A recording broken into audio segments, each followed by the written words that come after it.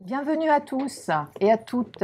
Je suis très heureuse d'être accueillie par la librairie Almora. Heureuse également que Mishka soit ici, qui représente Mama Édition. Et surtout être accompagnée par les deux personnes qui sont là ce soir avec nous et qui vont nous parler de l'eau.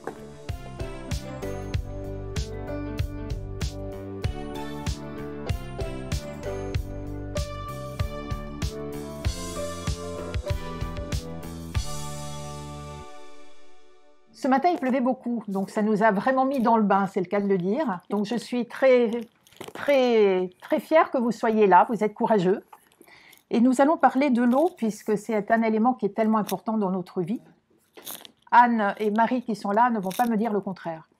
Je vais me présenter en deux mots. Je suis Olivia, j'ai une chaîne YouTube qui s'appelle Les Chroniques d'Olivia, Instagram et Facebook également, dans lesquelles j'ai le plaisir de partager mes coups de cœur, les interviews d'auteurs, des livres, des oracles, des lieux, tout ce qui a trait au bien-être euh, physique, mental, spirituel. Ah. C'est du live. Bienvenue, bienvenue. Nous sommes aujourd'hui ensemble pour parler de l'élément eau. Et ce livre que vous voyez, Les Voix de l'eau, a été écrit par euh, les deux personnes qui, m'entourent et une troisième personne qui est absente cette fois-ci, euh, Léna Sato.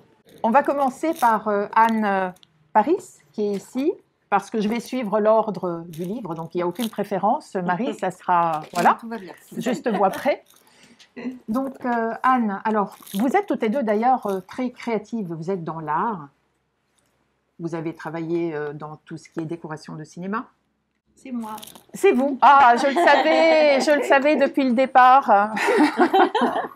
bon, dans le documentaire, mais dans le cinéma aussi. Oui, mais moi pas la déco. Non, c'est complémentaire. Vous êtes complémentaire jusqu'au bout d'ailleurs. Et euh, alors justement, votre premier contact, souvenir avec l'eau depuis l'enfance, parce que je sais que vous avez des rapports toutes les deux très forts avec l'eau. Oui, alors on a des rapports très forts avec l'eau. Donc moi, je suis normalement réalisatrice en fait. Je suis pas décoratrice, chef déco. Euh, je voudrais dire une petite chose avant sur Léna, peut-être, c'est que donc elle n'est pas ici parce qu'elle nage sans doute avec les cachalots là en ce moment euh, à l'île Maurice, mais qu'elle est donc de cœur à cœur avec nous. Nous, on est très dans le cœur à cœur. Voilà. Alors pour moi, c'est pas tant des souvenirs d'enfance avec l'eau. Enfin, ce qui est beau dans ce livre, c'est qu'on parle à la fois de l'intime chacune et aussi de qu'est-ce qu'on a fait ensemble. Et donc c'est plus qu'est-ce qui s'est passé pour moi depuis, je pense, euh, que j'ai eu l'appel des dauphins. Parce que ça s'est vraiment passé comme ça. Et j'ai dessiné un dauphin un jour. Et à partir de ce moment-là, je considère que j'ai vraiment eu cet appel des dauphins. Je me suis dit, mais il faut que je les rencontre. il y avait quelque chose qui a émergé. Et là, je me suis dit qu'il y avait vraiment, oui, quelque chose avec l'eau. Tout s'est développé à partir de là. Et ça fait déjà dix ans, donc c'est pas mon enfance en fait. parce que je crois que vous aviez même peur de l'eau, non? De la bah, profondeur. on n'était pas très à l'aise avec l'eau. C'est ça. Moi, je suis à la différence de Léna qui est apnéiste et qui, pour qui c'est son élément, qui a, toujours été nourri par l'eau, et puis Marie-Hélène a aussi une relation à l'eau. Euh, pour moi, euh, oui, j'aimais bien l'eau, mais c'est pas la même chose. Je pense que là, euh, ben, en fait, on, a fait avec mon compagnon Yann Kounen un film sur Lena Sato et son compagnon quand elle était enceinte. Voilà, là, j'ai vraiment été dans le grand bleu, au milieu de de très profond. Et là, j'ai commencé, je pense, à travailler sur mes peurs de l'eau aussi, mais quand c'est comme ça. Après, mm. quand c'est dans l'eau turquoise, tout va bien. C'était mm. le déclic. Oui, en tout cas, il y avait ce, le fait que en fait, euh, les, les dauphins vous permettent d'être en totale mm. sécurité. Enfin, pour moi, c'est c'est ce que j'ai ressenti. Si les dauphins sont là, euh, on n'a plus peur. Enfin, moi, j'ai senti ça, en tout cas. On va en parler juste après. Marie-Hélène. Alors moi, par contre, euh, j'ai toujours aimé l'eau. C'est vraiment un élément euh, très puissant pour moi et c'est quelque chose qui a accompagné mon enfance. C'est-à-dire j'ai nagé tôt, très tôt, et j'ai toujours aimé aller me baigner. J'ai grandi euh, pas loin de la Méditerranée et donc ma mère pour moi c'est la Méditerranée. Et j'ai commencé à nager tôt et j'ai nagé longtemps. J'ai commencé à nager là D'abord la brasse, avec ce, déjà ce sentiment que la brasse, c'était quelque chose qui me touchait énormément. J'en parle dans le livre. Pour moi, euh, nager la brasse, c'est la nage du cœur. Et il y a vraiment quelque chose de très puissant. Bon, à ce moment-là, je n'avais pas cette conscience, mais j'adorais être dans l'eau, j'adorais nager. Je faisais des kilomètres. Et c'était vraiment quelque chose qui me, qui me transportait. Et c'était peut-être les moments de joie les plus puissants de mon enfance parce que j'étais pas du tout une enfant joyeuse. Mais alors pas du tout. Voilà. Donc j'ai trouvé la joie bien plus tard et le livre le raconte d'ailleurs tout ce chemin. Mais l'élément eau, quand j'étais dans l'eau petite et enfant, je crois que j'ai appris à nager. J'avais pas, j'avais pas 4 ans. Et c'est vrai que ces moments de nage de l'enfance, pour moi, restent magiques. L'eau, évidemment, est aussi reliée à l'émotivité, Ah à l'affectif. Oui. Bien. Et euh, il y a un, un épisode que vous racontez qui est très émouvant, Ouais. parce que c'est une sorte de boucle qui se boucle. Ouais. Vous avez appris à nager avec votre papa. Oui. Et euh, est-ce que vous pouvez partager la dernière boucle qui ferme cela? Ah, en fait, donc c'est mon papa qui m'a appris à nager, comme j'ai appris à mes enfants, c'est-à-dire très tôt, en me proposant de tenir ses épaules et lui nager, puis moi je me débrouillais, je le lâchais, il me récupérait, etc. Et donc j'ai perdu mon papa, j'avais pas 30 ans, j'avais euh, 28 ans, il est, il est décédé euh, du sida dans les années 90. Et l'été avant son départ, parce que moi je considère que c'est un départ, j'ai nagé avec lui et on avait l'habitude à minima d'aller à la bouée, qui- les bouées qui sont à 300 mètres du rivage. Et on avait cette habitude d'aller nager euh, bah, tout simplement, au moins jusque-là. Et donc on est allé nager et euh, quand on est arrivé à la bouée, il m'a dit bah, Je ne peux pas rentrer, je ne suis pas capable de rentrer. Et donc il s'est appuyé sur moi et je l'ai ramené sur la plage, je l'ai ramené à terre. Et c'est vrai que ça a été un grand moment d'émotion. J'avais pas encore conscience que ça allait durer encore un an. Ça a duré à peu près un an. Il est, il est mort en octobre l'année d'après. Mais je me suis plus baignée avec lui après ce, ce bain parce qu'il était plus capable de d'aller se baigner tout simplement. Voilà. Donc c'est vrai que le ramener à terre alors qu'il m'avait amené à l'eau, hein, c'était hyper puissant. Et je pense que j'en ai pris conscience assez tard. C'est-à-dire j'ai fait tout ça et puis après on, on en prend conscience, puis après on l'écrit, c'est comme des couches. Et à chaque étape, c'est vrai que l'écriture, ça permet encore d'ancrer une, une étape de conscience. Et euh, c'est vrai que quand je l'ai écrit, j'ai senti que c'était très émouvant pour moi et que ça risquait de l'être pour ceux qui allaient le lire. C'est le cas. Voilà. Vous, avez, vous vous êtes, je crois, amie d'enfance, Oui, c'est ça, depuis toute petite? Oui. Est-ce que c'est une coïncidence que vous ayez toutes les deux fait la même école d'art? Ah bah non, parce qu'on était ensemble. C'est-à-dire qu'on a commencé, on s'est rencontrés, en- on était en sixième. Donc Anne avait un an d'avance.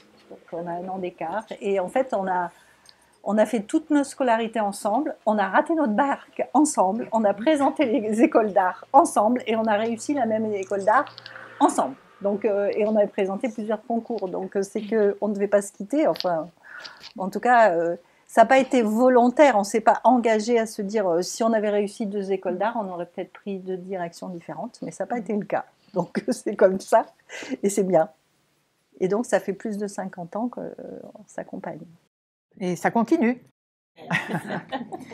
Alors justement, euh, Anne parlait tout à l'heure des dauphins. Donc c'était un de vos rêves que vous aviez donc dessiné. Et un jour, qu'est-ce qui se passe? Comment le concrétiser ce rêve?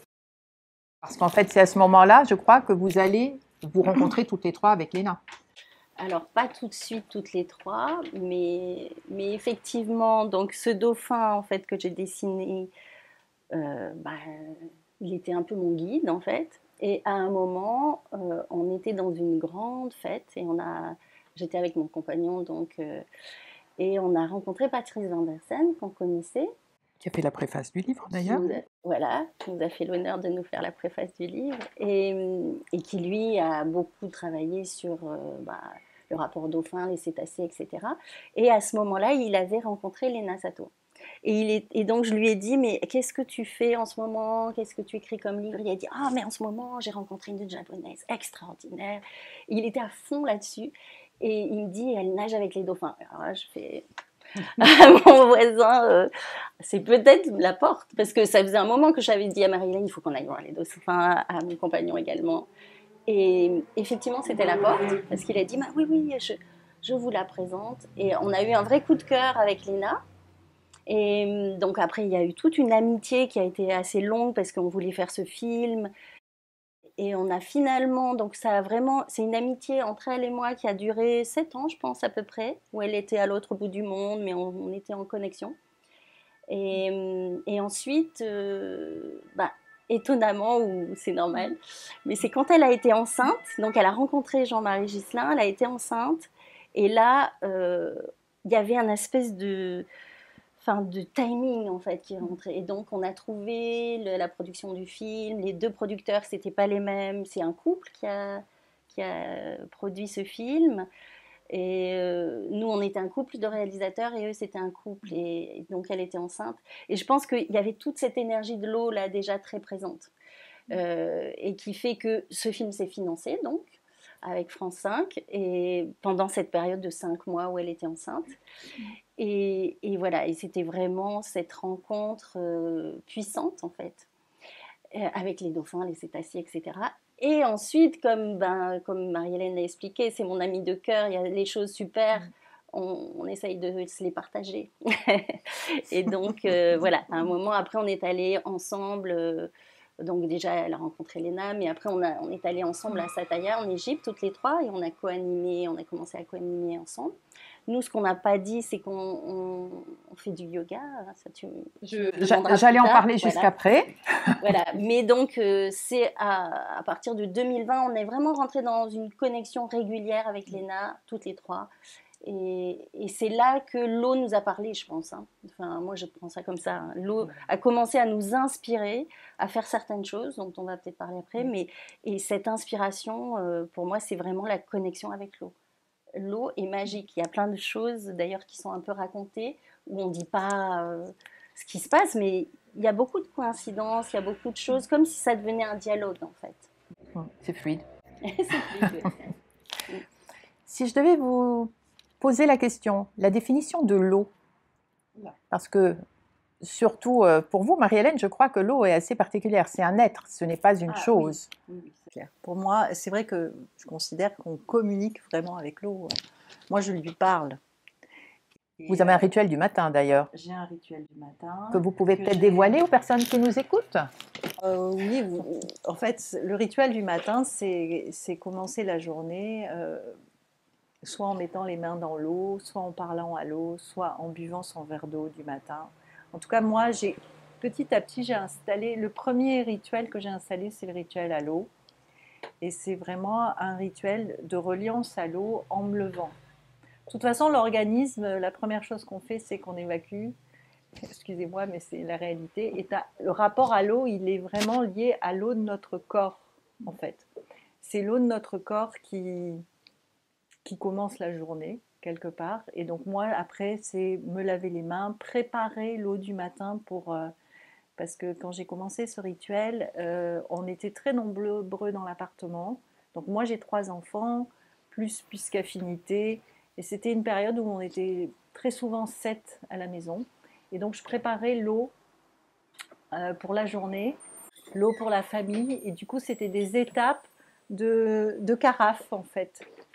Et donc ça, c'était quelque chose que je faisais euh, en parlant à l'eau et en lui faisant porter ben, euh, ce que je sentais comme état d'être, parce que ça, les états d'être, c'est aussi toute une partie de, de pratique que nous avons ensemble avec ce yoga diamant. Et du coup, j'informais l'eau de joie, euh, de sécurité, de réussite s'il y avait des examens à passer pour les plus jeunes, de, de ce qui était nécessaire pour la journée ou pour la période en cours. Et j'ai essayé de demander à l'eau de, de porter ça pour euh, l'ensemble euh, de ma famille. Donc ça, ce rituel-là, familial et au début de la journée, j'aimais bien me réveiller un peu avant tout le monde pour pouvoir être tranquille quelques instants dans la cuisine et avoir ce moment de partage avec l'eau. Alors ça pouvait être la vaisselle qui restait, euh, une douche ou quelque chose, un moment avec l'eau euh, où je pouvais échanger avec elle de façon très intime, c'est-à-dire très, très physique en fait.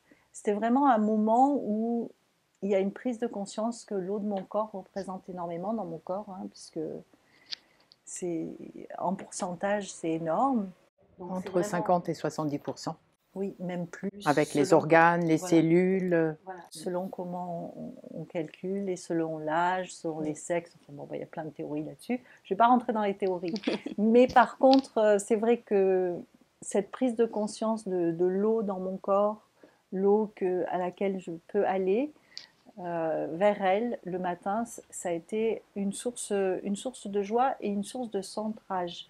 Comme si ça permettait un équilibrage entre l'extérieur et l'intérieur, c'est-à-dire l'eau de mon corps et l'eau à laquelle euh, je demandais de porter la joie, la paix, la sécurité, l'amour, la fluidité, l'harmonie. Et puis il y avait des mots particuliers aussi selon, selon les moments, bien sûr. Voilà, donc ce rituel à l'eau, je l'ai vraiment... Euh, ça a duré des années, je l'ai toujours. Hein plus ou moins court, plus ou moins long, selon les exigences d'une journée où on doit être déjà très tôt euh, sur un décor, par exemple, euh, ça se réduit. Mais de toute façon, le rituel à l'eau, il est complètement inscrit dans ma vie, c'est-à-dire je ne peux pas me lever sans penser à elle et à avoir une relation intime à elle tous les matins. C'est obligatoire, c'est un truc qui est... Voilà. Après, le système des rituels, euh, c'est quelque chose qui devient complètement inscrit dans la vie. Et du coup, euh, c'est comme si c'est, ça fait partie de moi complètement.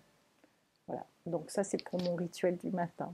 Parce qu'effectivement, ce qui est intéressant, c'est que vous parlez d'informer l'eau avec Masaru Emoto. Évidemment, on connaît tous les cristaux des eaux qui peuvent être modifiés avec la pensée ou les mots qu'on lui donne. Et comme l'eau perçoit et reçoit l'information, elle la transmet ensuite quand on la boit, par exemple. Voilà. Ça, c'est plus explicatif, mais oui, c'est important.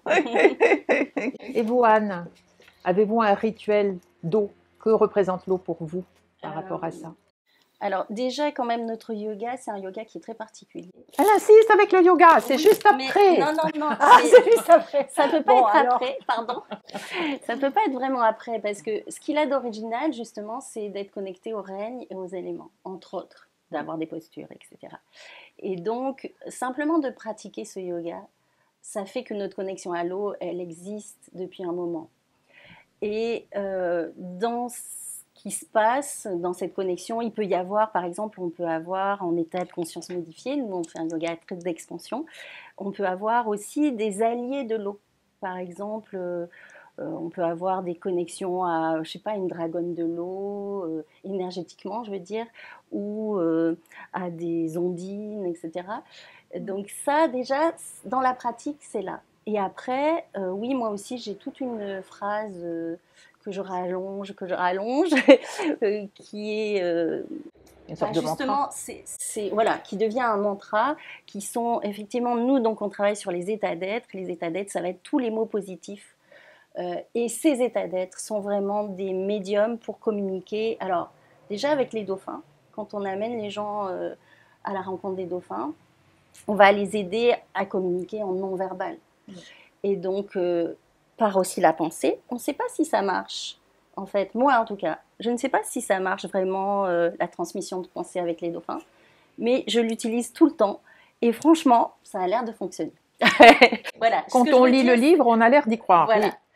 Mais parce que c'est que des, des expériences, des choses qui se sont passées, etc. Les cétacés, c'est quand même des, des, êtres, parce que nous on va appeler donc c'est des êtres animaux.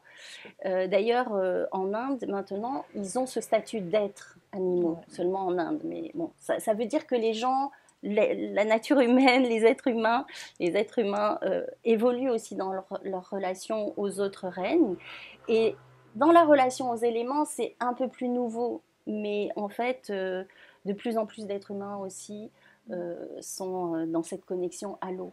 Et donc, effectivement, le lien à l'eau, j'allais dire, c'est plus étrange que celui aux animaux, par exemple, mais ça, ça peut devenir un quotidien. Donc, moi, j'ai un mantra, oui. vous voulez que je vous dise mon mantra, moi? mais donc le mantra, c'est un mantra personnel, c'est-à-dire que nous, ça nous intéresse en fait d'être inspirante sur votre relation à l'eau. Euh, et c'est ce qu'on dit aussi dans ce livre, c'est-à-dire qu'il y a de plus en plus de gens qui sont connectés à l'eau et de ce fait à cette planète et de ce fait qui ont envie peut-être de transformer les choses, etc. Donc, euh, euh, mais je le connais par cœur. Hein. et voilà, donc le mien c'est eau pure, eau pure, eau vivante, eau de vie, eau de joie, eau de transformation, eau de guérison, eau d'amour, eau lumière, eau qui se régénère, régénère la planète et l'écosystème Om Shanti, Shanti, Shanti, Om Shanti, Shanti, Om, Om miraculeuse, ça je l'ai rajouté, ou qui porte la vie. Et après, ça peut être selon ce qui se passe. Vous avez retenu pour euh, demain matin? Mais ça, voilà, c'est à force. Euh, maintenant, bon, voilà, je le connais par cœur, je peux le transformer. Et puis, on a d'autres choses qu'on fait. Euh, je ne sais pas si on va en parler ou pas, mais qui sont vraiment ritualisés avec les, gens qui participent avec nous à des rituels à l'eau. Voilà, mais ça, c'est des choses qu'on fait chacune. Et, et, on pourrait faire plein, plein d'autres choses. Mais cette relation à l'eau qui devient intime, en fait, c'est ça qui est touchant. Ça, ça devient vraiment comme un compagnon ou une compagne, en fait, de, un guide, enfin, etc. Oui, c'est une, entité. Oui, c'est ça. Après, on peut l'appeler comme on veut, hein, l'esprit de l'eau ou l'énergie de l'eau. Euh. Là, par exemple, ici, c'est hyper beau, là. La nature, vous voyez pas, mais il y a des arbres, en fait, et, c'est tout vert avec le printemps et on sent l'eau parce qu'il a plu ici beaucoup comme vous savez aujourd'hui mais on sent l'énergie de l'eau aussi dans les gouttes dans les feuilles. Euh, là je suis hyper en contemplation depuis quand je parle pas et, voilà et en fait l'eau elle est partout. C'est vrai que euh, un truc que j'adore dire là et qui est aussi dans le livre, mais j'adore parce que, en fait, même si ça marche pas, parce qu'il y a plein de gens qui vont dire ah oui oui mais c'est n'importe quoi, mais même si ça marche pas, qu'est-ce que ça. Enfin, on n'a rien, à perdre. Voilà. Et notre, si nous, on va dire à notre eau le matin, si on va lui dire euh, eau pure, eau vivante, eau, de, eau qui régénère, euh, eau qui transforme, voilà. Si on lui demande des choses, etc., déjà, on se parle à soi en fait, on parle aussi à l'eau de notre corps, pas que de l'eau de la carafe ou de l'eau de la douche, mais ou à la mer ou à l'océan. On se parle aussi à nous, et donc nous, on va être porté par ces fameux états d'être là, ces mots positifs qui, bah, qui transforment en fait tous tout, bah, les densités, nous on appelle ça, mais ça veut dire euh, bah, les tristesses en fait, les tristesses, euh, les émotions. Euh, on va les transformer grâce à l'énergie de l'eau, mais on va transformer des densités en quelque chose de plus fluide, de créatif, puisque l'eau est très créative, elle est très joueuse, joyeuse, n'est-ce pas, Vous la reliez beaucoup au deuxième chakra oui. Ah ben, complètement. C'est le deuxième chakra. L'élément eau est relié au deuxième chakra. Donc euh, là-dessus, euh, créativité dans tous les sens du terme, euh, fluidité, oui, alors, je ne sais pas si tout le monde sait ce que c'est les chakras, mais si vous êtes ici, je pense que oui. Mais donc, on dit qu'il y a sept chakras principaux hein, qui sont à l'avant de la colonne vertébrale. C'est des roues d'énergie. Elles ont des couleurs en Inde. Et ce deuxième chakra, il est en dessous du nombril. Et donc, effectivement, associé à l'élément eau et euh, donc à, à la création, à la transformation, à tous les cycles, puisque l'eau est très inspirante sur les cycles de la mmh. vapeur à à l'eau cristalline, l'eau liquide, l'eau, la euh, glace, la glace etc. Mm. Donc il y a des états de l'eau et ces états de l'eau sont inspirants sur les cycles, les transformations. Et c'est pour ça que l'eau est très aidante à la transformation et qu'elle est aussi aidante à, la créativité, à amener du nouveau dans sa vie, etc. Si je vous parlais du sanctuaire bleu, ah, le sanctuaire bleu. Qui veut se lancer? Bah, vas-y, on peut parler toutes les deux. Euh, oui, de toute façon, on va en parler toutes les deux. Ce que je n'ai pas dit, donc ce livre qui est écrit à six mains, trois personnes, trois histoires, et souvent on retrouve le même. Euh, bon, à part, à, part avoir l'eau en commun, évidemment, euh, les tisseuses d'eau que vous êtes, il y a effectivement un ou deux points qui sont vus par une autre optique. Et donc c'est très intéressant de voir la description que vous faites toutes les trois un petit peu des mêmes choses. Alors le sanctuaire, euh, ben, moi je visualise vraiment un sanctuaire. C'est-à-dire que quand je suis là-bas et quand je me relie à cet endroit, Oui, là-bas, où? Ah, On dit où c'est? Ah, Je ne sais pas si on dit c'est un sanctuaire. Bon, alors c'est à Sataya, c'est en Égypte et c'est en mer Rouge.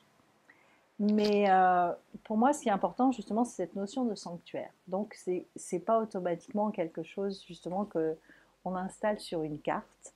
C'est un lieu où, sous l'eau, pour moi, il y a vraiment un temple avec des colonnes et des possibilités. C'est comme s'il y avait une collection directe entre cet endroit et euh, l'infini du cosmos. C'est-à-dire, c'est comme si à cet endroit, au plus on descend, au plus on monte. Alors, comment dire ça? Moi, j'ai vraiment d'abord des, visualisations d'un vrai temple. C'est hauts fonds, cet endroit. C'est-à-dire que la mer, on est quand même assez loin des côtes. Donc, euh, tout autour de ces hauts fonds qui sont autour de... Entre, il y a même des endroits où on a pied, et sinon c'est une vingtaine de mètres. Donc l'eau est turquoise. Donc ça, c'est au fond, c'est comme un plateau qui fait presque un cœur, avec des coraux qui sont au bord du cœur. Donc ça a une forme un peu comme ça. Et tout autour de ce cœur ou de ce temple ou de ce sanctuaire qui est vraiment marqué par des, du minéral très fort et, les dauphins, etc. Donc c'est très puissant et donc autour de ce, tout autour du cœur, après on descend à 400 mètres de profondeur. Donc ça n'a rien à voir. Et ce lieu-là a vraiment une énergie très particulière.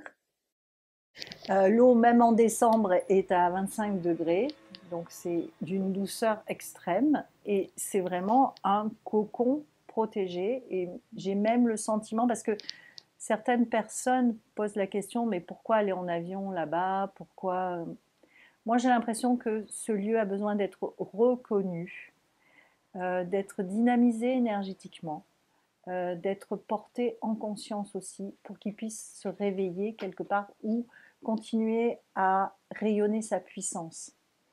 Et, euh, et quand on y est, on baigne là, et je pense que le lieu a aussi besoin de, de reliance avec des êtres qui s'en occupent. Alors là, pour l'instant, je n'ai parlé que de l'espace. Et je vais laisser Anne parler des dauphins parce qu'ils sont là tous les matins pour nous accueillir et ils repartent au coucher du soleil, ils s'éloignent dans des eaux plus profondes et ils viennent jouer. Voilà, donc je vais laisser Anne parler des dauphins. J'adore ça aussi, c'est pas ça, c'est que j'ai déjà beaucoup parlé sur le lieu. Le mot du sanctuaire bleu, c'est nous hein, qui l'avons créé. Oui. Euh, toutes les trois, et il y a plein d'autres choses qu'on a co-créées ensemble là-bas. Euh, aussi parce que euh, donc c'est effectivement accompagner des gens à, à, la rencontre des dauphins, mais il y a cet endroit qui est, qui est un petit peu magique quand même, on peut le dire. Quoi qu'il en soit, que chacun ressent d'une manière ou d'une autre, mais voilà, moi j'aurais tendance à dire aussi que c'est un vortex, que, que, dans cet endroit il se passe on est plus en fait sensible et on est plus en réceptivité. Et je pense que c'est pas que dans cet endroit. Hein. Il y a plein d'endroits sur la planète qui, qui sont comme ça. Parfois c'est des montagnes, parfois c'est des points d'eau. Mm. Voilà. Donc euh, euh, effectivement les dauphins sont là. Et euh, je pense que c'est une chance en fait de pouvoir aller là et de quand elle dit on pratique, alors on fait des postures, etc. Mais on a fait aussi beaucoup de voyages euh, d'exploration en fait de l'invisible, des ressentis qu'on a. Soit euh, Léna, elle guide aussi des, justement des méditations avec les dauphins. Alors non, ça c'est dans le concret. Si elle, guide, mais vraiment euh, pour descendre en apnée concrètement, mais elle guide aussi pour rencontrer les dauphins. Et elle, elle a une grande habitude des dauphins. Et donc en fait, petit à petit, chacune, là, on a, on a cette connexion à l'eau et aux dauphins qui a grandi. Et donc, on fait des, des guidances verbales, on, appelle ça, où on va guider tout le monde à la rencontre des dauphins et du lieu. Et c'est aussi pour ça qu'on a affiné notre relation à cet endroit. Parce que c'est en écoutant aussi ce que ressentent les gens, en partageant qu'est-ce qui se passe pour eux, qu'est-ce qui se passe pour nous. Et petit à petit, ben, il y a des images, il y a des sensations, il y a des potentiels qui émergent là. Des idées, les gens se ressourcent énormément. Parfois, il y a des transformations pour eux. Euh, bon, bah ça, on, a constaté, Marie-Hélène, elle est beaucoup dans le soin aussi avec l'eau. mais donc c'est plus elle qui a, enfin, qui a commencé ses soins. Mais petit à petit, voilà, moi je suis plus dans des rituels avec mon bol de cristal, à mettre de l'eau, avec les états d'être, etc. Mais chacune, en fait, on, on, a constaté que l'eau décuple en fait les transformations ou les guérisons même, enfin, sans aller dans, de l'eau miraculeuse, mais, mais pourquoi pas en fait? On sent que cette eau informée, euh, cette eau informée par l'énergie des dauphins, et avec ce lieu, ça peut vraiment faire des transformations pour les gens, leur permettre de passer des caps qui ne sont pas toujours simples, mais qui, qui sont positifs euh, au bout du compte.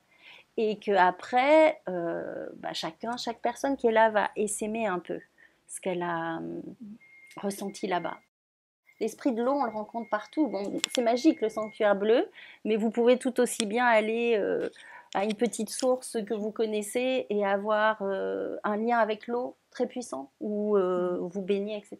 Je pense que, alors, c'est plus simple dans certains endroits de sentir cette magie, mais c'est partout. Et ça, c'est très important en fait.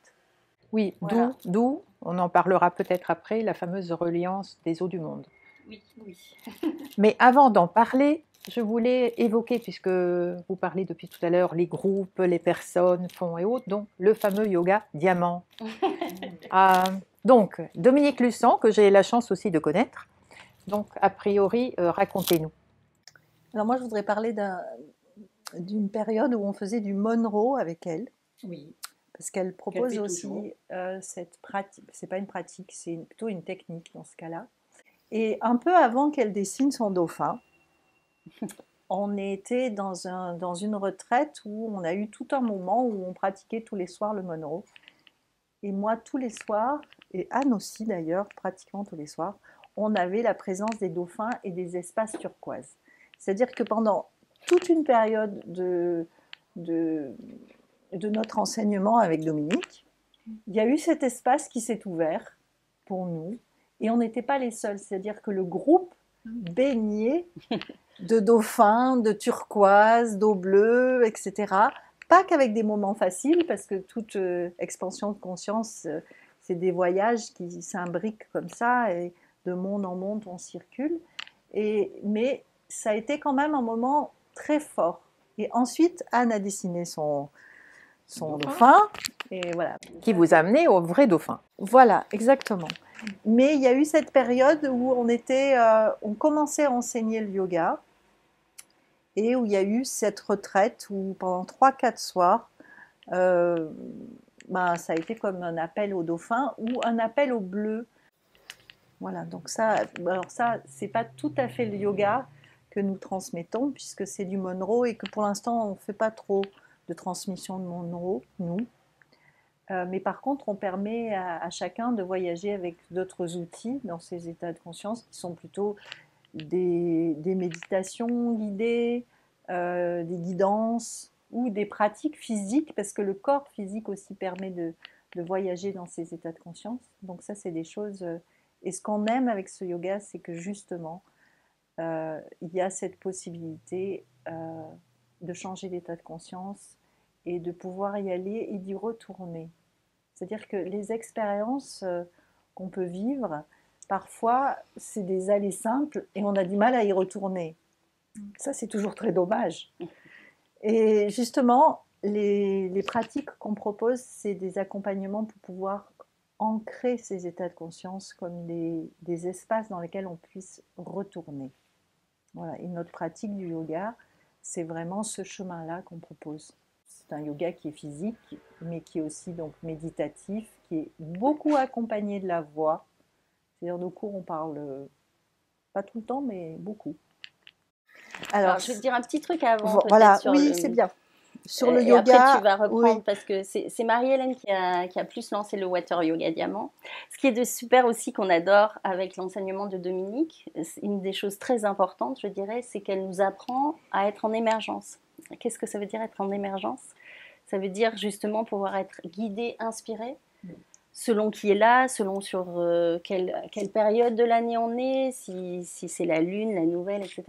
De tous les cycles d'être inspiré. Et dans cette inspiration, euh, on va bah, recevoir des choses, sentir des choses qu'on va pouvoir intégrer à la pratique. si on trouve ça juste. C'est pour ça que maintenant, on, pratique le water yoga diamant. Mais il y a d'autres choses qui, qui sont pratiquées euh, avec ce yoga qui sont très libres et très créatives. On a beaucoup de gens qui viennent s'ils ont besoin de changer, transformer des choses. Euh, on va les aider, les accompagner. Il y en a d'autres qui, qui, ont, qui ont envie de, de, créer des choses. Et pareil, c'est vraiment un accompagnement sur euh, la durée. Comme on a plein de gens qui sont intermittents ou qui voyagent, etc. Ça peut être une durée courte, ils viennent quand ils veulent mais ils continuent un chemin de transformation en fait. C'est des chemins de transformation. C'est pour ça que l'eau, elle est très importante, mais il y a d'autres éléments. On pourrait, d'ailleurs, on travaille d'autres éléments. On va travailler la terre, l'ancrage, on va travailler le feu, l'énergie. Euh, l'air, c'est l'énergie du cœur, du chakra du cœur. Donc euh, voilà, il y, a, vraiment plein de choses qui sont possibles avec euh, ce yoga qu'on adore et qui est vraiment puissant en fait. Mm. Euh, voilà, on peut bouger, il y a des mouvements spontanés avec ce yoga euh, qui sont des mouvements qui vont bah, être des mouvements de l'être euh, puissants qui vont pouvoir aussi nous faire du bien, nous accompagner dans cette fluidité, dans cette transformation, dans ce qu'on a à déposer. Voilà, on, adore, je pense. En fait, c'est un coup de cœur ce yoga pour nous. Oui, là, on le ressent énormément c'est un coup de cœur et puis on n'avait nullement l'intention de devenir prof de yoga. C'était pas du tout au programme. Hein. Mais par contre, euh, suivre Dominique et vivre ses expériences, ça c'était au programme. Ça c'est sûr. C'est plutôt par là que c'est arrivé. Ça l'envie de, de, continuer ce chemin. Et puis après de le transmettre. C'est venu euh, très simplement. Alors le water yoga. Le water yoga, c'est un jour. Euh, à la fin d'un tournage qui avait été éprouvant. Je me retrouve chez moi avec mon rituel à l'eau. Donc, petit rituel à l'eau. je vais jusqu'aux plantes, donc je prends le temps d'arroser mes fleurs aussi avec des bonous et tout ça. Et puis, euh, la phrase qui vient, mais va te mettre à l'eau. Mais va te mettre à l'eau, t'en peux plus, va te mettre à l'eau, va te mettre à l'eau. Bon, alors je me dis, c'était novembre. Je me dis, allez me mettre à l'eau, euh, c'est froid, et je tape yoga eau et je vois ce qui sort. Et je tombe sur euh, Laurelène Chambové, qui est quelqu'un qui a tout un travail magnifique, vous pouvez aller voir. Elle, pour le coup, sur la naissance, beaucoup, puisqu'elle crée euh, les Water Doula. Enfin, elle a tout un travail magnifique. Je l'appelle parce qu'elle propose un stage. Elle me dit c'est complet. Et puis on commence à parler. Et puis elle me dit bon bah écoute c'est complet mais tu, peux dormir dans la salle de pratique. Hein. C'est ok comme ça. Je dis bon bah allons-y. Et là euh, là d'abord euh, j'arrive pas à sortir de l'eau. C'est-à-dire c'est de l'eau chaude déjà. C'est un bassin et c'est toutes sortes de pratiques qu'elle propose. Euh, à deux, à plusieurs. Bon, je vous laisse aller voir euh, tout ce qu'elle propose, mais moi, je suis profondément touchée. Euh, je, je, sens que, que par ce chemin qu'elle propose, je peux vraiment développer tout notre yoga et le proposer à bah, tous les gens qui ont envie de, de cette reliance à l'eau qui est, qui est quand même très particulière. Et en eau chaude, je trouve l'eau froide, on peut en parler aussi longtemps parce que c'est très intéressant, mais c'est un autre programme. Donc, une autre fois. voilà, l'eau chaude permet euh, un lien très puissant, très rapide. Et dans mon cas, je reçois encore plus d'informations quand je suis dans l'eau chaude euh, sur euh, si je suis avec quelqu'un, si c'est en, en soins, j'ai de l'information sur ce que je dois faire ou comment je dois accompagner ou sur ce qui se passe comme euh, transformation dans, l'être. Euh, je demande à l'eau de m'aider, toujours. Et, euh, et donc, le Water Yoga, on propose des, des, stages où on, est, on fait des pratiques de yoga, des, rituels, des pratiques dans, le, dans des ribosos, c'est des, textiles qu'utilise Laurelène d'ailleurs, qui permettent de faire des, comment dire, c'est-à-dire de, regrouper le corps ou de circuler dans l'eau, mais en, étant appuyé sur quelque chose. Et c'est vrai que toute cette pratique fait remonter toutes sortes de mémoires personnelles. C'est-à-dire qu'à partir du moment où on intègre cette mémoire de l'eau, l'eau est aidante pour euh, rentrer dans des espaces de mémoire euh, personnels ou des mémoires qui ne sont pas personnelles d'ailleurs, qui peuvent être des mémoires sociétales ou toutes sortes de mémoires. Mais c'est un espace de mémoire qui s'ouvre. Et comme on peut rester longtemps dans une eau chaude, il y a vraiment quelque chose qui se déploie. Et donc c'est ce que nous proposons ensemble. Je pense que juste pour ajouter, ce qui est intéressant par rapport à l'eau, c'est qu'elle potentialise en fait des choses que nous on expérimente, on reçoit des informations parce qu'on pratique euh, les expansions de conscience. Donc on peut avoir des informations déjà euh, sur la terre, dans l'air, etc. Mais ça va potentialiser. Et ça, moi j'ai vraiment, puisque j'ai pas fait les stages avec Laurelaine par exemple, mais quand on, nous on coanime toutes les deux, j'ai vraiment senti que ça potentialise. Et d'ailleurs, on le voit dans les groupes. Les gens, par exemple, on l'a fait une fois à Sataya, euh, on avait pied, et on, en parle dans le livre, hein, toutes les deux. Oui. Euh, il s'est passé des choses pour les gens, alors qu'ils ont rencontré les dauphins, qu'ils ont fait beaucoup de choses magnifiques, mais pour certaines, euh, bah, les larmes coulaient, etc. Il y a eu vraiment des, oui, des guérisons intérieures qui se passent. Et ça, c'est l'eau qui l'amène parce que bon, ça potentialise, voilà. C'est ça que ça, rend plus fort, ça, ça donne un accès. On peut avoir des accès à des mémoires ou à des choses pour quelqu'un, mais avec l'eau, ça va être encore plus fort. Et je pense que c'est vraiment ça en fait qu'on sent. On a passé du temps dans l'eau en fait en tant que bébé, que nourrisson, que fœtus. Et donc nous, on a choisi de pas trop parler de parce qu'on est trois mamans en fait. Hein, mais on a choisi de pas trop en parler dans ce livre pour vraiment rester sur la connexion à l'eau. Mais bon, clairement, euh, il y a quelque chose de hyper puissant dans, dans le fait qu'on est, euh, on a passé tous et toutes du temps dans l'eau, dans le ventre de nos mamans. et je pense que ça aussi, c'est de l'ordre de la mémoire. On a des choses qui nous touchent profondément aux cellules, au corps et au cœur. Et donc, toi, tu emploies, et j'aime bien ce mot, le corps. Le corps aquatique, pour moi, c'est celui qu'on retrouve quand on se met à l'eau. C'est-à-dire que c'est comme si notre corps, en se mettant en reliance avec l'eau du bassin ou l'eau de l'océan ou l'eau de la mer, il y a un moment où il se passe euh, comme une osmose peut-être, il y a un déclic qui fait que ça y est, c'est le corps aquatique qui est là. Et on a beaucoup de mal à le quitter quand on l'a trouvé. En général, sortir de l'eau peut être compliqué. Euh, mais voilà, moi, j'ai vraiment le sentiment de...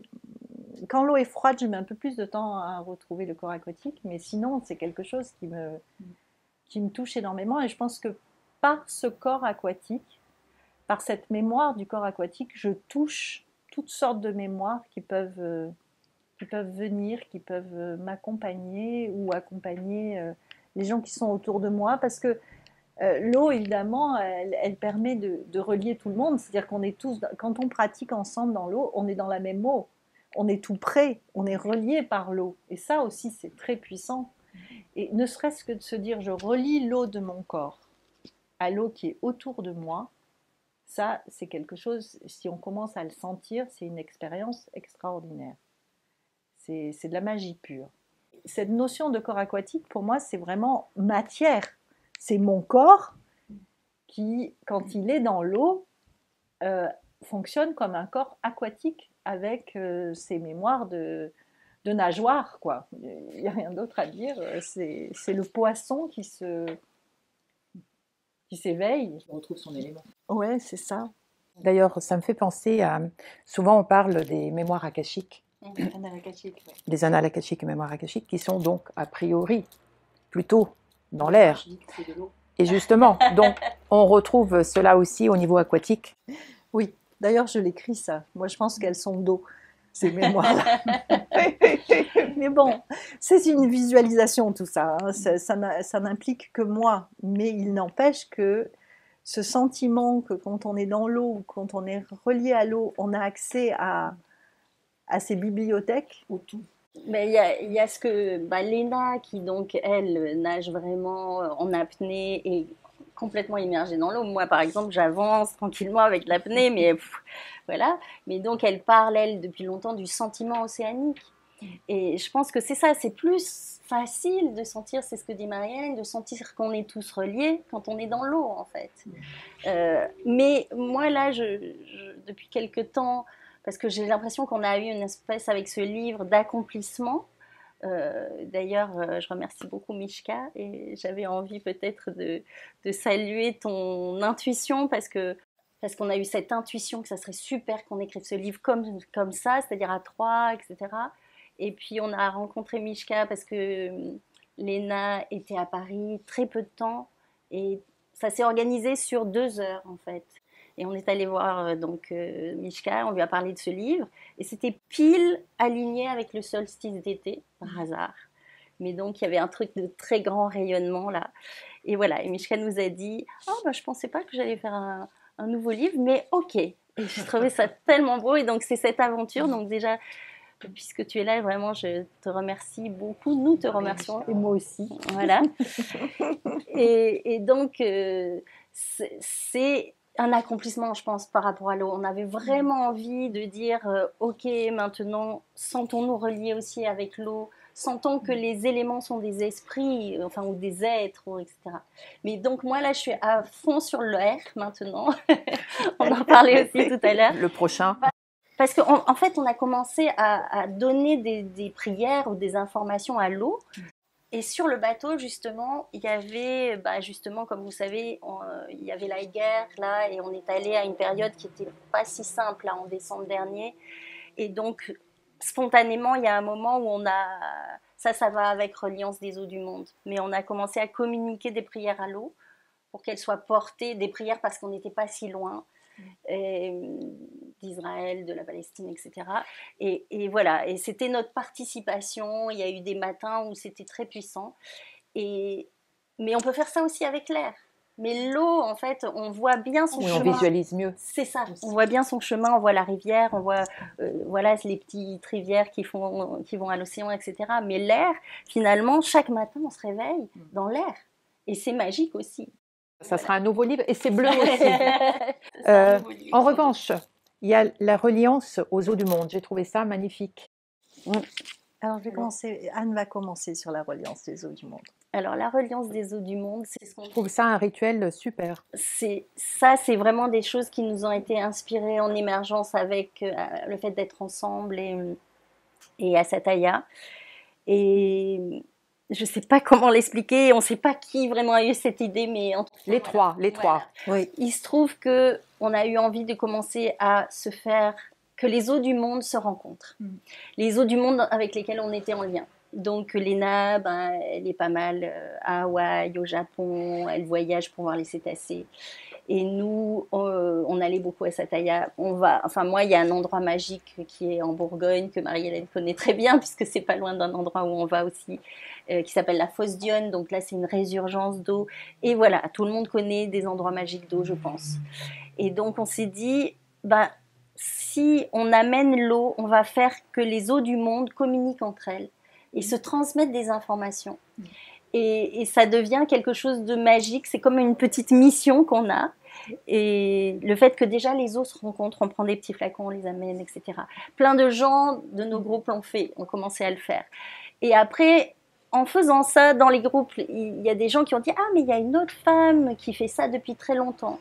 Euh, elle s'appelle Azul Tomé, je ne sais pas s'il y en a qui ont entendu parler d'elle, mais et effectivement, elle fait ça depuis plus longtemps que nous et on ne le savait pas. Et ça, c'est magique parce que ça veut dire que des mêmes choses sont inspirées aux êtres humains que nous sommes pour faire des rituels complètement qui paraissent un peu farfelus, peut-être, mais qui en fait, finalement, ressemblent à d'autres rituels ancestraux que font des Amérindiens ou que font des gens. Il y a, une fois, j'ai rencontré une femme qui, avait une tradition dans sa famille. Elle faisait des choses avec la mère et les prières. Et, en fait, finalement, euh, beaucoup de gens font ça et on retrouve ça soit par inspiration, soit euh, parce que c'est des traditions. Il y a pas mal de femmes maintenant qui se connectent avec les Amérindiens à l'eau aussi. Donc, euh, ça a commencé comme ça, voilà, les reliances des eaux du monde. C'est-à-dire, c'est vraiment de, mélanger, de faire se D'apporter l'énergie des uns aux autres. Et, c'est symbolique pour moi de notre humanité. En fait, euh, c'est symbolique de chacun participent, co-participent de plus en plus parce que on fait des rituels et ça qui peuvent peut-être être euh, insignifiants, hein, parce que c'est de parler à son eau. Bon, jusque-là, c'est pas très matière, mais, mais je pense que parce que nous, on commence à le faire et qu'on en parle et que d'autres le font, euh, finalement, il se passe des choses en disant, ah ben oui, mais moi aussi, je suis très connectée à l'eau, et toi, tu l'es comment, et tu fais quoi? Et ça, c'est ce qui fait qu'on est... Bah, qu'on va rentrer dans, dans cette... Pour moi, c'est très important, là, de nos jours, de se connecter. Euh, sur euh, bah, les états d'être et qui porte ces états d'être si bien que ça, c'est l'eau aussi. Qui porte ses mémoires, qui porte, euh, voilà, qu'est-ce qu'on porte nous en nous aussi dans nos cellules? je pense qu'il y a beaucoup d'informations dans nos cellules. Peut-être qu'elles sont beaucoup dans l'eau. Enfin, moi, je dis il y a beaucoup d'informations parce qu'en travaillant avec le yoga, les expansions de conscience, bah, finalement, on, se connecte à des choses anciennes, moi, je ne sais pas si la réincarnation existe, hein, mais, en tout cas, j'ai des informations de mémoire euh, que j'aurais pu vivre, ou que, en tout cas, de manière collective, on peut vivre. Donc ça, ça participe de la reliance des eaux du monde. Il y a sûrement d'autres choses à dire. Hein, Moi, je, je crois qu'une des choses qu'on aimerait transmettre, c'est que vous fassiez tous des rituels à l'eau et que vous commenciez à mettre des petites gouttes que vous, allez ramasser dans une petite rivière avec son petit bruit ou juste un petit filet d'eau que vous le preniez et que vous l'amenez dans l'océan et des choses comme ça. Et euh, ça serait vraiment l'idée du ruisseau qui devient rivière, qui devient fleuve, qui devient mer, qui devient océan. Et ça, je pense que c'est une chose qui, qui nous tient à cœur à toutes les trois, euh, qui est de plus en plus d'êtres qui, qui fonctionnent dans ce, ce chemin qu'on peut appeler rituel ou qu'on peut appeler jeu aussi. Parce que je crois qu'il y a quelque chose de l'autre du jeu, à préparer ses fioles, à mettre un peu d'eau, mettre une bougie, enfin, toutes ces petites choses, c'est il y a un côté très ludique à ça. Et je crois que ça aussi, c'est très important, c'est-à-dire euh, y mettre toute la joie de l'instant euh, qui fait que ça va être transmis comme ça. Euh, et faites vos rituels. Faites vos rituels à l'eau et peut-être à autre chose, mais en tout cas, on a vraiment envie de, par ce livre, d'être inspirante là-dessus et que ça puisse circuler. Boulette. Parce que quand on le lit, euh, cette, euh, cet échange d'eau est vraiment magique. Poétique, magique, et on a envie de le faire. Donc, euh, ça marche. Je voudrais juste peut-être ajouter quelque chose sur les rituels par rapport à Léna, parce que comme elle n'est pas là. Et elle, elle a initié, donc Léna Sato, des rituels parce qu'en en fait, donc elle est japonaise et au Japon, il y a une baie encore où les dauphins sont massacrés, tués, euh, ou capturés pour les delphinariums, et c'est une fois par an. Et donc, elle, euh, elle a réfléchi à comment sensibiliser les Japonais, parce que, en fait, au Japon, très peu de personnes savent que, que justement, il y a ces chasses de dauphins. Euh, ça ne se dit pas, donc, elle a cherché, puisque tu parlais, tu vois, de poésie, elle a cherché comment faire un rituel poétique. Et et donc, elle, demande à... Alors, ce projet sur euh, les réseaux, il s'appelle euh, le projet Anima. Elle demande donc à des Japonais ou à d'autres gens de tresser des petits bateaux et de les envoyer à la baie de Taiji. Et là, elle va faire cet événement euh, le 22 avril, le jour donc du jour de la terre au jour de l'eau. Là, on a dit qu'on allait se connecter vraiment encore plus à l'eau. Et donc, donc ces petites barques, après, sont chargées de fleurs et d'intentions que les gens donc envoient et elles les déposent dans la baie euh, pour justement déjà... Ben, que chaque barque représente aussi un dauphin sacrifié. C'est ça. Mais c'est aussi, c'est aussi, il y a une notion, je pense, bon, bien sûr, elle en parlerait mieux, hein, mais il y a une notion de pardon, mmh. euh, de, que par ces rituels, par ces offrandes, par cette connexion euh, par le cœur à ces cétacés disparus, euh, elle puisse, euh, enfin, nous puissions en fait entrer dans quelque chose de l'ordre du pardon, de pas, enfin voilà, de pas se rendre compte. Je pense qu'on fait. Il y a beaucoup de gens entre nous, de gens qui sont touchés par l'eau, qui sont touchés par les dauphins. C'est vrai que ça, ça nous paraît complètement fou qu'on tue encore les dauphins. Euh, pour nous, mais comment sensibiliser de manière poétique et donc déjà pardonner et donner aussi une, ben, que les gens soient au courant. Ça sera retransmis sur votre compte bah, sur, oui, oui, en général, il y a déjà elle en parle aussi elle sur les réseaux et là c'est elle a fait un crowdfunding il y a eu des artistes qui sont venus les autres années pour danser et c'est que des choses qui sont c'est pareil, c'est cette notion de choses infimes, mais qui en fait, si chacun fait son, son rituel, fait sa part du colibri, là, et qui peut-être vont, vont petit à petit changer les choses. Je voulais quand même aussi indiquer que vous avez fait un oracle toutes les deux, euh, l'esprit du yoga, dans lequel on retrouve euh, des postures de yoga. Vous voulez en dire euh, deux mots peut-être? C'est une proposition de, de euh, on peut utiliser ce jeu de façon complètement différente. Il y a certaines personnes qui le connaissent déjà et qui l'utilisent. Est-ce que les personnes qui ne font pas du tout de yoga peuvent euh, l'utiliser? Oui. Je ne suis pas concernée. en fait, on peut, on peut l'utiliser pour avoir un message de la posture avec, euh, en posant soit une intention, soit même une question. Et on peut aussi l'utiliser pour découvrir une posture et apprendre à la faire. Il y a l'image de la posture, il y a euh, un texte qui permet d'être euh, accompagné pour la faire, et après il y a le message énergétique de la posture. Voilà, donc on peut, avec ces cartes, créer son propre cours du matin, si on veut, ou du soir, ça dépend des tempéraments. On peut aussi avoir juste une énergie pour la journée, avec un message. Il y a aussi trois mots qui sont écrits sur les cartes, qui correspondent à quelque chose de très simple, peut accompagner justement une journée. Et après, il y a la pratique de la posture qui peut être faite. Euh, euh, c'est vraiment très guidé, donc tout le monde peut arriver à faire euh, les, les postures que, que, nous avons choisies. Il y en a 44, c'est ça? Voilà, 44 postures, des dynamiques et des statiques. Qu'est-ce qu'il faut rajouter, Anna Rien. On le rajoutera lors d'une prochaine interview euh, dédiée à l'oracle, si vous voulez bien. Ah bah oui, avec plaisir. Le mot de la fin pour chacune d'entre vous. Allez, allô. allô. oui, bah moi c'est vraiment sur cette reliance qu'on peut avoir les uns et les autres euh, de, de transformer les choses par des petites choses, des petites gouttes d'eau. Voilà. Je pense qu'il y a beaucoup de choses que si tout le monde s'y mettait ensemble. La Voilà, la paix par exemple. Mais ça va venir. Avançons, mais avançons, avançons dans, dans ce genre de choses. Parce que c'est déjà de se dire, tiens, c'est possible, peut-être, qu'on soit plusieurs à euh, avoir cette connexion, à faire ces expériences, etc. Il y a des chances quand même de transformer beaucoup de choses en fait nous déjà, et aussi petit à petit plus. Mm. Mm.